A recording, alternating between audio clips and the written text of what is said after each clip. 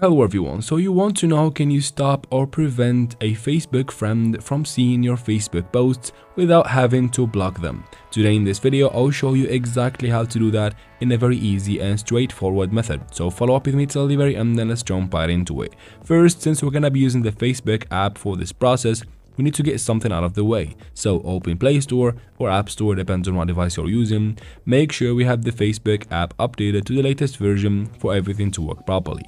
After that, you can finally quit the store and now, of course, open Facebook. Make sure you are logged into your account and then tap right here in the top right corner to open the menu. And from the menu, you can open settings by tapping here in the top right corner, or you can instead scroll down, tap on settings and privacy, then tap on settings at the top right here. So once you get to settings, from here tap on privacy checkup right there. And now here select so who can see what you share.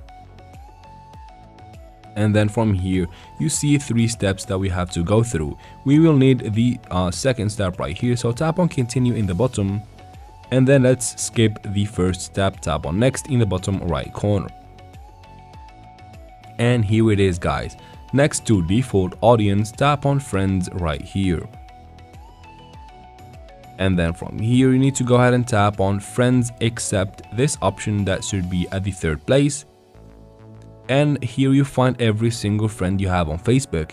From here you can go ahead and tap on the friend that you want to stop or prevent from seeing your posts or you can search for them if you have one in mind by using the search for feature in the top and tap on their profile and quit from there and they won't be able to see your posts. I hope this video was helpful. If it was, please like and leave your questions and comments in the comment section. I'll try to answer every single one of them. And of course, subscribe to the channel. Thank you very much for watching and see you in the next one.